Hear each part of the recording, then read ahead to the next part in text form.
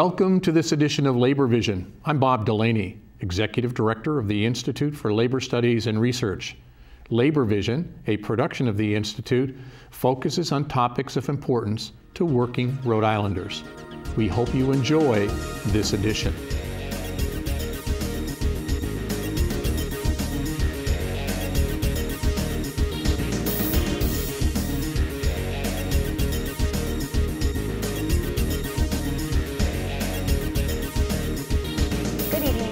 To Labor Vision. My name is Erica Hammond. I'm the Workforce Labor Liaison at the Institute for Labor Studies and Research. Today, we're back with our third Women at Work series to, talk, to discuss an ongoing issue affecting people around the world, the taboo of menstruation. Joining me today to talk about the work that they're doing to combat this issue in Rhode Island is Rhode Island State Senator Val Lawson and newly elected president of the Coalition of Labor Union Women, Desiree Leclair. Thank you for joining us. Thank you for having us. All right, so I want to open the floor to give you both an opportunity to introduce yourselves. Welcome back to Labor Vision for both of you. Um, and I know you both wear many hats, so uh, if you'd like to introduce yourself first, Sure. Senator Lawson. Thanks for having me. So as you mentioned, I, um, in 2018, I was elected to the Senate. I represent East Providence. It's my privilege. Um, uh, I am a social studies teacher. This is my 30th year, 30th Wow. year teaching. I currently teach at East Providence High School. I began my career at Martin Middle School. And I also serve as the vice president of the National Education Association, Rhode Island. It's my labor hat. Awesome. Um, so I'm Desiree Leclair. I'm the Rhode Island Director for the 1199 Training and Upgrading Fund. My work primarily falls out of Women and Infants Hospital. Um, I've been here in Rhode Island working in the labor movement since uh, January 2017. I actually worked at the Institute uh, as the Senior Programs Director. And again, now I'm working with 1199 and their 1,900 members at Women and Infants Okay. Hospital. And you've been newly elected as of this this month, right? As Uh, the yeah. new um, Coalition of Labor Union Women Rhode Yeah. Island chapter president. Yeah. Congratulations. Thank you. Do you want to talk a, a little bit about the chapter? Sure, yeah. Uh, the Coalition for Labor Union Women here in Rhode Island works with uh, the labor movement and a host of community groups. Um, we address pressing issues that affect women in labor and beyond, right? So the entire Rhode Island community. Um, our work stretches for uh, donation campaigns, which I'll talk about a little bit later, as well as fundraising and political activism. Uh, currently, CLUW is um, supporting the bill that um, Senator Lawson will be um, talking about. that. Awesome. Do you want to talk a little bit about this bill? Sure. So um, this legislation would provide feminine hygiene products in gender neutral and female bathrooms in public schools in grades 6 to 12. Okay. And how did this come about? This this legislation? So I'm actually a CLUW member too, Yeah. and I was part of the campaign last year, and I brought in awareness of this situation, as well as the fact that uh, I'm a high school uh, teacher. So I participated in the campaign, and um, Maureen Martin, former uh, Secretary Treasurer of the Rhode Island AFL-CIO, as well as President of Yeah. CLUW, brought to my attention that this that throughout the United States there was awareness in uh, legislation. Um, so I was proud to introduce it into the Senate. So we um, introduced it earlier this session. Awesome. And I know that last year legislation passed to exempt menstrual hygiene products uh, from the state's sales tax. And at least in my opinion, I think that in that for that legislation, House sponsor um, Edith Ajello had. Uh, her message was spot on in saying that uh, menstrual products are a necessity to women, regardless of whether they can afford them or not, and most can't. So, do you think that this legislation is a continuation of that work? I absolutely do, and I think it was um, important that that tax was removed from the budget, and it's it's an equity issue. So providing feminine hygiene products in schools relieves and reduces stress for the students. Mm-hmm. So whether you're a student who has chosen not to attend school because you can't f- afford feminine hygiene mm-hmm. products, if this bill passes, that no longer will be an issue. Or you're in a situation where you're caught off mm-hmm. guard. And it allows students to have um, maintain some privacy where they can do it on their own in a bathroom as opposing to uh, seek out an adult and go to the nurse to do that. Mm-hmm. So I think it is the next step of awareness and education for people and to remove barriers. And, and in some way, this is a barrier for people who can't afford it. And there's, and it's an easy fix to this solution. Right. And it, I think it creates a much, you said it already, but a much more comfortable environment for the students who are going through either their first menstrual cycle or a menstrual cycle in high school right. or uh, middle school. I've, i feel like I remember multiple times calling my mom um, and having her come and either pick me up or just coming to the school to drop things off. Um, and then I'd get in trouble for using my phone in school, right? But it was embarrassing to right, go, right. if you have to go to the nurse or to go to the office to make a phone call home. Right, this impacts um, everyone in some way. Mm -hmm. And those students that struggle to be able to afford it, mm -hmm. that just compounds that issue. Right. And attendance is very important and we don't want students skipping school because they're afraid mm -hmm. of that embarrassment. Right. And as we both we all know that men, uh, women and young girls miss school and work right. every month uh, because either they can't afford the menstrual hygiene products or in some cases on work sites they may not have any place to change their products. Right. Um, Desiree, do you want to talk a little bit about the CLUW perspective on the impact that legislation like this would have? Sure. Um, I mean, we represent women, right? Women in labor, women in Rhode Island. These are our mothers, sisters, grandmothers, daughters, cousins, aunts, coworkers, friends.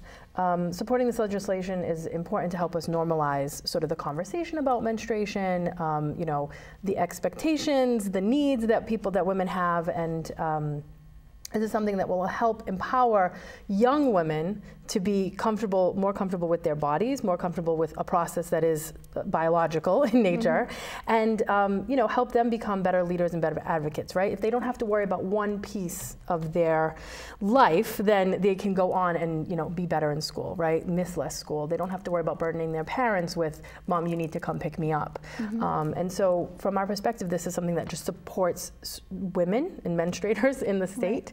Right. Um, so we want to make sure that we're part of that. And I think that's an important point. You want to make women comfortable, mm -hmm. and this is a way we can do that right. and remove obstacles. Mm -hmm. right. That are really artificial and unnecessary. yeah, right. Like you said, this is a natural. This happens. Biological process. Exactly. Right. It's a natural process that can't be stopped. It's not a choice to menstruate. Mm -hmm. It's similar to using the bathroom. Right. We don't have the same conversation around toilet paper and soap, right? right? Um, so I know that the Rhode Island CLUW chapter joined this the menstrual movement last year when it kicked off its Help a Sister Out period campaign, as mm -hmm. you mentioned previously. Uh, can you tell us more about this campaign? Sure. So. Um, the Help a Sister Out campaign um, looks to provide feminine hygiene products for those for whom the burden of purchasing those products would, would be a problem, right? So the same people that, that Val is talking about. We work with local, or, local organizations and union offices and put donation boxes in either the offices or the facilities um, to collect donations of mm -hmm. products, or uh, we also have um, a GoFundMe page mm -hmm. that um, we will use 100% of those donations to purchase additional products. Okay. So all the, don uh, all the donations will be uh, donated to um, local community organizations where mm -hmm. we know that there is a need. That's awesome. And I know that as a, a fellow CLUW sister, I know that last year it was really great we highly recommend people to donate to that GoFundMe page Absolutely. because 100% of the proceeds go directly towards the products. Yeah. And I remember last year there was such a great deal that uh, former CLUW Rhode Island chapter president Maureen Martin uh, had gotten right on the, she was able to find menstrual products for 50% off. So she had gotten so much stuff. And even just writing letters to, I know that there was one organization or one company that actually donated a ton of products. Vita. Uh, yes, mm -hmm. yep, Vita. We can we can talk about that a little bit more. Um, but yeah. Yeah. So so last year we raised about sixty two hundred dollars uh, through the GoFundMe page. So I do recommend people to do that, um, and that resulted in the donation of about sixty two, a little bit over sixty two thousand products. Um, the way that people can get involved in this is either you know call the Rhode Island AFL-CIO uh, to request one or two donation boxes for their mm -hmm. facilities and offices, or they can go to the GoFundMe page, which is gofundme.com backslash help a sister out period. And period is spelled out. Period is P E R I O D. Yes. Um, our drive, our official drive campaign begins this Sunday, uh, March 8th, on International Women's Day, and the campaign will run through uh, May 28th, which is National Menstrual Hygiene Day. So. Okay. And do you want to explain what the significance around May 28th is? Sure. Uh, we chose that date because the average woman has her period for uh, five days and runs on a 28-day cycle. Right. So. Five eight, five twenty-eight. and I know that last year the um, legislators were instrumental in collecting a ton of menstrual hygiene products. Do, hopefully that's something that can happen again this year. Maybe we can bring Yeah. this and share this with a lot of the other uh, legislators in the House and We Senate. did um, on, on the House side and on the Senate side, and uh, I'm certainly going to make a great effort to Awesome. uh, even reach out to more people and Right. see if we can top last year. Great. That'll be awesome. And I know that you mentioned that folks can get involved uh, by going to the GoFundMe page. Uh, is there are there more boxes that can be brought to different locations if people know Yep, where there's a lot of foot traffic? So you can contact Cheryl at the uh, Rhode Island AFL-CIO Okay. um, and just request a box, tell her your uh, location and you know a contact person, and we are happy to bring you boxes. And, and collect some. them when they And hopefully fill right, exactly, and collect them, of course. Okay. And um, before we wrap up, uh, I just wanted to ask both of you uh, how we can f- turn this menstrual movement into a uni- universal movement so that we can get all menstruators and non menstruators involved in this fight and to understand that it, this isn't just a women's issue, it's affecting everyone. Uh, what would you guys say? Well, I think awareness of it, promotion, and educating people. I would certainly love to have anybody who'd like to come up and testify when my bill uh, is before committee, and I'm sure the same thing on the House side. So any opportunity we have to let people know how to donate, mm-hmm. it's a great way to, Absolutely. To move forward. So I, first, I'd say you know we are working in our um, meetings to have a some legisla- uh, some uh, testimony um, from some of our members and other people who might be affected by this. So that's one thing that CLUW's doing. But I think the most important thing is just to generally be comfortable talking about menstruation. Right, um, the stigma of having a period should be a thing of the past, and the more often you talk about a social issue, regardless of whether or not it's something that happens to everybody, it happens to a couple people, um, the more uh, awareness people will have, and the more comfortable in general everyone will be talking about it, not just Right. a women's issue per a man's issue or whatever. So, And to go back to the legislation quickly, I know that it's been introduced and we don't know when the hearing will be up yet. or- I, I'm not sure. Okay. But I, We'll have to I will um, track. Share that um, I did receive, uh, Channel 12 reached out to me, so there was some Great, awareness that's good, there. nice. And I did an interview um, in the Brown University uh, newspaper this week. Okay. So it is spreading the word. Absolutely. yeah. So, and I will share that contact information Yeah. with uh, the student at Brown who wrote the article. Nice. Thank you. That would be amazing. Yeah. Yeah. I, I want to thank you again for introducing this legislation. I Oh, think my pleasure. It, it was really exciting when it was brought back to the to the CLUW chapter and everyone was told about it. So, thank you. My pleasure. And a good way to honor Maureen Martin. Absolutely. Right? So Yeah, that'll be yeah. great. She, I, I am hoping we can reel her in to do some test, to testify when this bill comes up for its hearing. She'll be there. Yeah. Well, thank you both so much for being here. Um, I'm really excited to see how this campaign rolls out and continues. Hopefully, we can beat last year's Thank you. numbers, right? Hoping for it, right? All right. Well, thank you both so much for being here. For those of you who are just tuning in, you're watching Labor Vision. If you've missed any of this episode, you can check it out on our new website. It's www.laborvisionri.org. And once again, you're watching Labor Vision. Have a great night.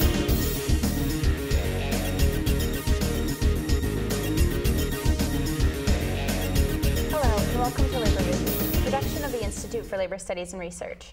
I'm your host, Erica Hammond, and joined with me today are Rhode Island State Senator Dawn Euer and newly elected Secretary Treasurer of the Rhode Island AFL-CIO, Patrick Crowley.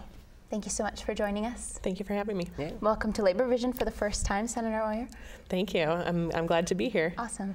And Patrick, uh, congratulations on your new position. Thank you very much, Erica. You're welcome. Senator Euer, would you like to start by telling us a little bit about yourself and the district you represent? Sure. I was elected to the Senate in 2017 in a special election. So, and I have been serving representing uh, Senate District 13, which is Jamestown and Newport. Okay. So, prior to being elected, I was a community organizer.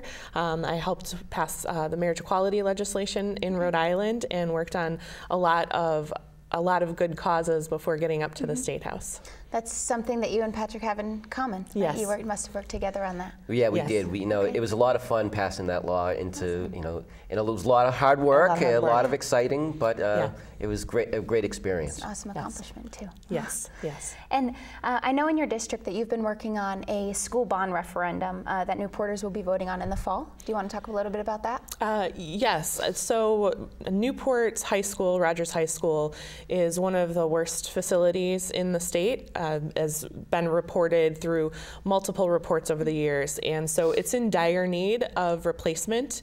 And so there has been community conversations ongoing with the school building committee to make sure that you know the students and the communities at the table to make sure that there's a vision for what the new school will look like. Okay. And so we've been working hard to try to make sure that we're getting the input from the teachers and the students and the community members to make sure that uh, that input and that it's a strong proposal. So they just submitted the RIDE uh, Stage 2 proposal and are now working on um, getting the financial aspects of the proposal worked out. Okay. And what fostered this work? Um, how did it come about? Was it um, a uh, information that came out about the school, or what was it? Yeah, the, the state had been working towards doing the statewide bond, which passed in the last election mm -hmm. cycle.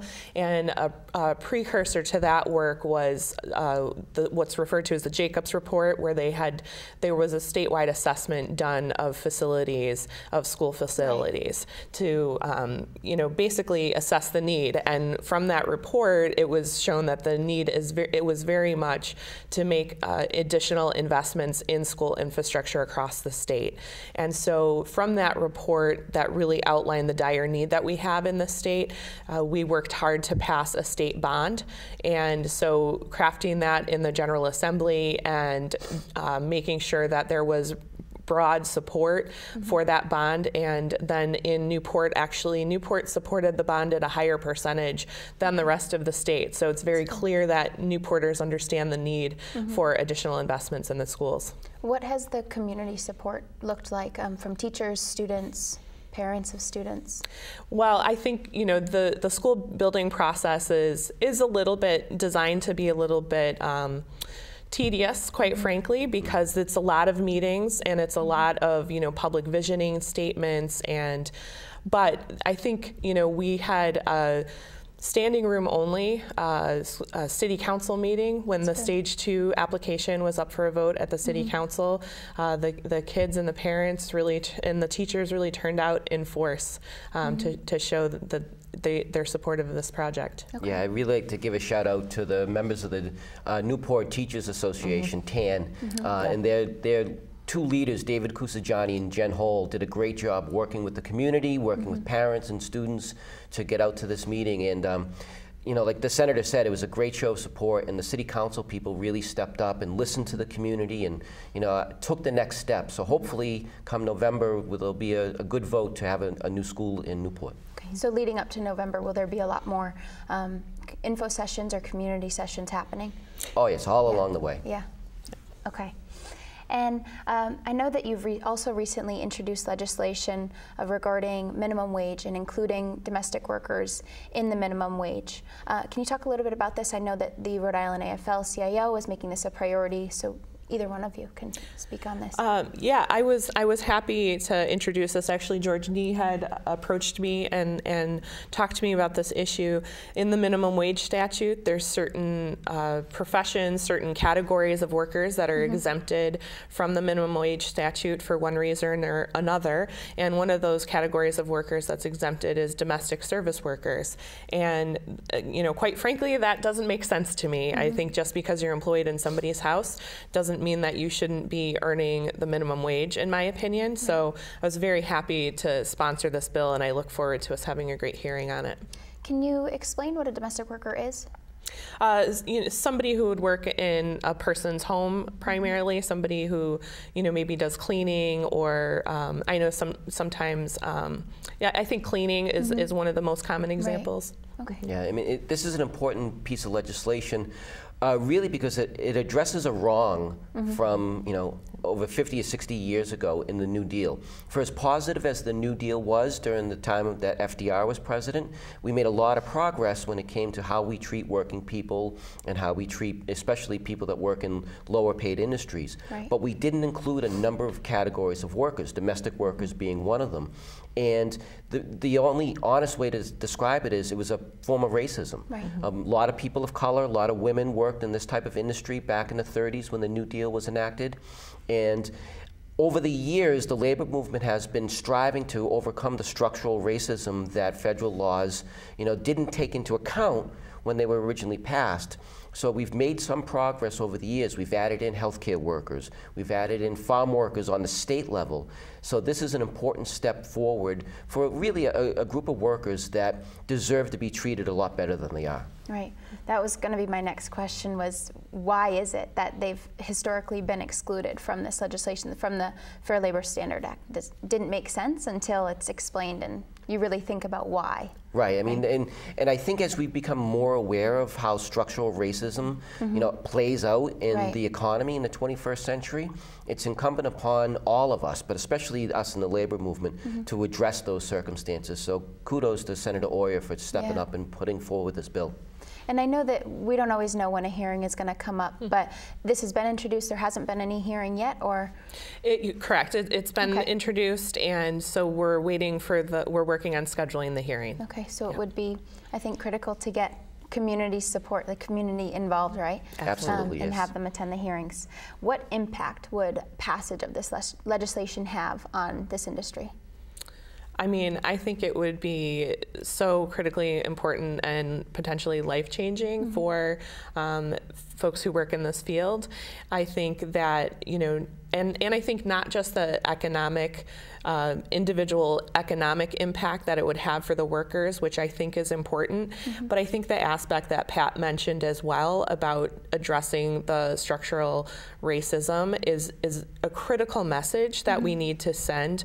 I think that the, it's not always clear how our history of racism manifests in today's society. And I think this is a really easy, concrete example to show that not only are we understanding that, but we're trying to address it. And I think Right. that sends an important message. Absolutely.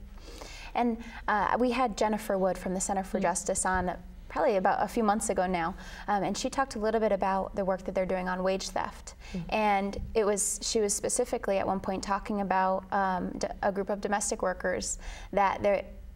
It had never been documented or had never been seen how much money was being um, stolen from them, essentially. And I think that this is one way of addressing that same issue. It's, it's coming from two different angles, but it's the same problem. That's right. I mean, it, it's almost like our friends in the building trades talk about the underground economy all of the mm-hmm. time and how, especially immigrant communities, get exploited by unscrupulous employers. So mm-hmm. anything that we can do to bring that into the light of day, I think is going to be better for all working people. I mean, we're relying on the employer to do the right thing, and we don't we don't rely on them to do the right thing That's in any right. many other situations, right? Because we Correct. can't expect that they will.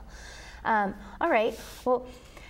I know that there is um, some other legislation that you've been working on around forbidding employers to require an employee to execute a non-disclosure, um, uh, dis- non-disparagement agreement regarding al- alleged violations of civil rights um, upon high, upon as a condition of employment. Uh, do you want to talk about that a little bit? Yeah, I'd be happy to. So, um, as part of the the echoes of the Me Too movement, the conversations around non-disclosure agreements have really been front and center, and the um, uh, presidential candidate, well, I suppose former presidential candidate mm-hmm. Warren really helped raise the profile of that issue uh, with Michael Bloomberg mm-hmm. around the non disclosure agreements and how, how they are used sometimes to silence workers. Absolutely. So, what ends up happening is that uh, in, in many industries, folks, as part of their employment, you know, you start on day one, you have to sign a non disclosure agreement because companies don't want you to give out company secrets and things, and things like that.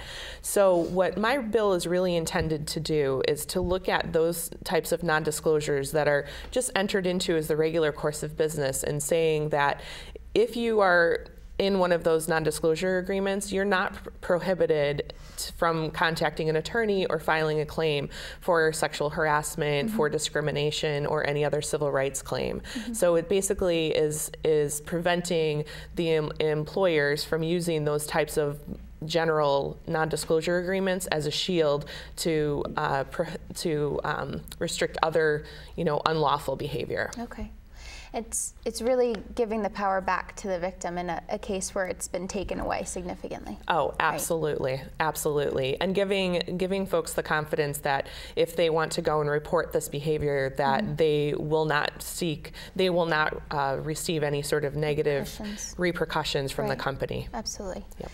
And I, I, think I saw that there was a hearing for that maybe a few weeks ago. Is yes, there, okay. Yes, there was a hearing in the Senate Judiciary mm-hmm. Committee, and you know, again, the, the conversation around non-disclosure agreements and what is how because there are some times where non-disclosure agreements are appropriate, are mm-hmm. an appropriate legal tool, and so trying to find the right way to draft this bill to make sure that we're protecting the mm-hmm the right and the ability of the companies to protect their trade secrets right. while still giving the victims the the clearance that they need to be able to stake these claims. I'm definitely interested to see the rollout of all of this and watch how it unfolds. Yes. And uh, before we close, I just want to highlight some other great legislation that you're working on.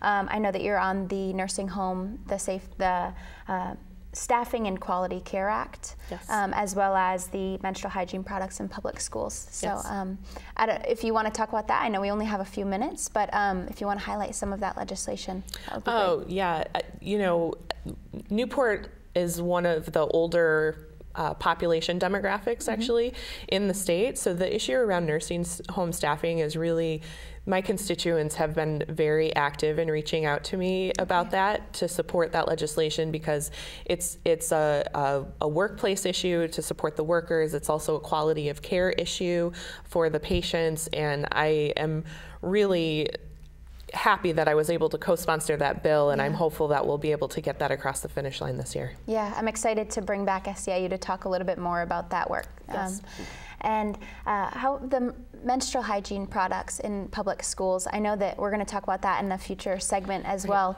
um, but I was really excited to see your name on that legislation. Yes, and I, Senator Val Lawson, mm-hmm. uh, who's a great friend of mine and a wonderful senator, and I'm, I'm very honored to work with her on the on that legislation as well. Yeah, it's, it's, such a, it's a, such a critical bill. I mean, it really it's just important to have the conversation about menstrual hygiene products that available for all of our people. Mm -hmm. Absolutely. All right. Well, I want to before we close, I want to thank you both so much for being here. I know you're both very busy, uh, so I appreciate your time. Thank you. Great. Thank you very much. Thank this was you. great. All right. For those of you who are just tuning in, you're watching Labor Vision. If you've missed any of this episode, you can check any of them out at uh, our new website, which is www.laborvisionri.org. And you can also check out our Instagram page, which is LaborVisionRI. Thank you so much for joining us. You're watching Labor Vision. Have a great night. Thank you for joining us for this edition of Labor Vision. We appreciate your input and encourage your comments. Labor Vision can be seen on this channel three times each week. Tuesday at 7 p.m., Thursday at 8 p.m., and Saturday at 5 p.m.